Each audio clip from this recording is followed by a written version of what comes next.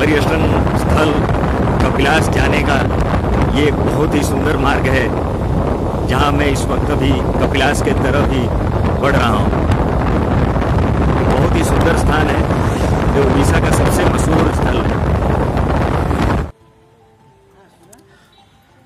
हम अब आ गए कपिलास पर्वत के नीचे, चंद्रशेखर जी को दर्शन करने के लिए मार्ग पर। और यही है चंद्रशेखर जी को दर्शन करने के लिए। यही मार्ग जो कपिलास पर्वत के ऊपर जाता है।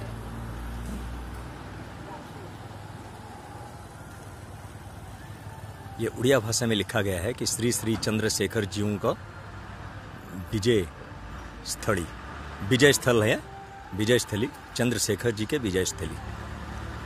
विजय स्थली विजय स्थली मतलब कि आप उनका दर्शन कर सकते हैं। यहीं से चार किलोमीटर पहाड़ की ऊंचाई पर जाना पड़ता है और वहाँ चंद्रशेखर जी को दर्शन करने को मिलेगा।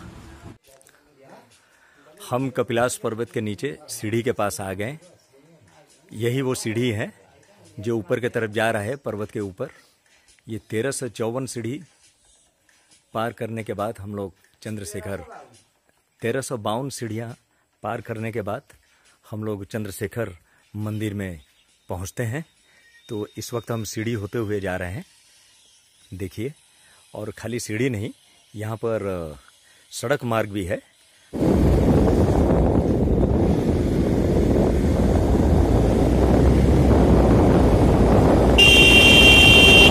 ये एक और एक मोड़ हम क्रॉस कर रहे हैं। यहाँ से और तीन किलोमीटर दूरी पर कपिलास मंदिर आएगा।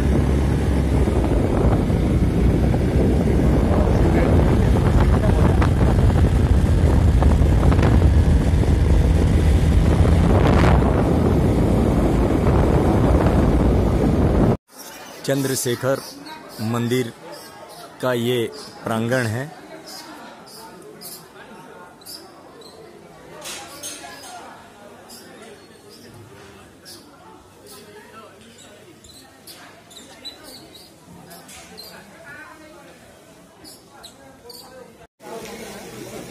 यहाँ कपिलास के प्रभु चंद्रशेखर जी को दर्शन करने लोग पहुँच गए हैं।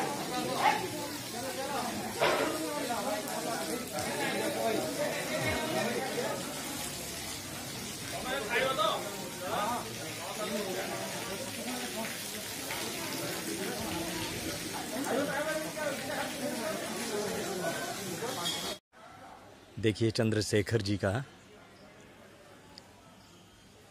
मंदिर और यहाँ का खूबसूरत नज़ारा।